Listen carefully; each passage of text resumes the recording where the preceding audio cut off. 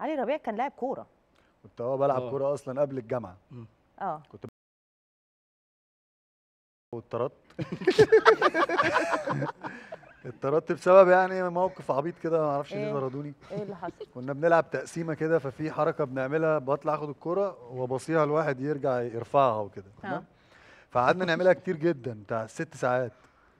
فزهقت جدا اللي اتخنقت بقى هيجي لي شلل. كل شوية آخد الكورة وأجري أبصيها آخد الكورة وأجري فقلت أغير بقى حتى نضحك إحنا يعني. يمكن زهقت فجيت بدل ما ابصيها كده رحت إيه واخدها كده.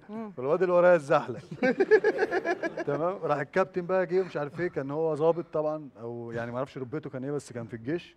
قال لي أنت مش عارف إيه أنت بتغير الخطة ليه؟ قلت له يا كابتن بقى لنا ست ساعات بنعملها. خطة إيه؟ ولا هنعملها في الماتش ولا أنا هشوف الناس دي أصلا في الملعب ولا إيه.